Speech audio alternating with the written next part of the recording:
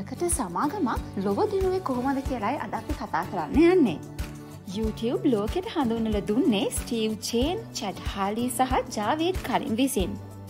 YouTube මූලික සංකල්පය වුණේ මිතුරු හමුවක් ලෙස පවත්වාගෙන යෑමයි. අන්තර්ජාලය ඔස්සේ මුදල් ගණුදෙනු කටයුතු කිරීමේදී නියමිත ක්‍රමවේදයක් තියෙනවා.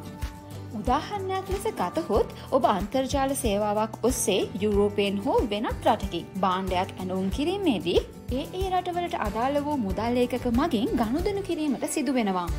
එලසින් වූ ක්‍රමවේදේදී පේපැල් යනු ඔන්ලයින් ඔස්සේ ගණුදනු සිදි කිරීමේදී ගෙවීම් කටයුතු සඳහා මුදල් හෝමාරු කර දෙමින් එම කටයුත්ත නිවැරදිව සිදු කිරීමේ සේවාවක් ලබා දෙන ලොව ප්‍රකට අන්තර්ජාල සේවාවක්.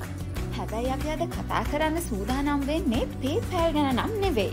අද වන විට ලෝක ජනතාවගෙන් හරි අඩක් පමණ විශාල ජනතාවක් හොඳින්ම දන්න YouTube සමාගම ගැන.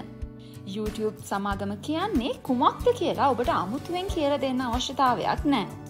කෙටියෙන් මේ ගැන කිව්වොත් YouTube යනු අන්තර්ජාලය ඔස්සේ වීඩියෝ තාක්ෂණ මගින් ලෝක ජනතාවට නැරඹීමේ අවකාශය ලබාදුන් අපූරු සමාජ මාධ්‍යයක්. මේ YouTube යනු පේපැල් සමාගමේ සේවය කළ සේවකයෙන් තිදෙනෙකුගේ අලුත් සංකල්පයක්. ඒකයි මම මුලින්ම පේපැල් සමාගම ගැන කතා කළේ.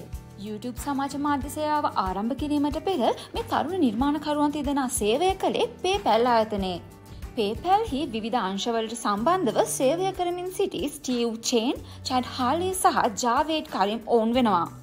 හාලි පරිගණකංශයේ සැලසුන් නිර්මාණය කිරීමෙහි ඉතා නිර්මාණාත්මක චරිතයක් වුණු අතර ස්ටීව් චේන් සහ ජාවේට් කරිම් පරිගණක විද්‍යාව සම්බන්ධයෙන් ඉලිනොයිසි අර්බානා සහ ශැම්පේන් සරසවියේ උසස් අධ්‍යාපනය ලැබුවෝ වෙති. පේපෑල් සමාගමේ සේවය කරමින් සිටියදී මේ තිදෙන හොඳ මිතුරම් බාට පත් වූ අතර ඔවුන්ගේ මෙම YouTube සංකල්පය නිර්මාණය විය.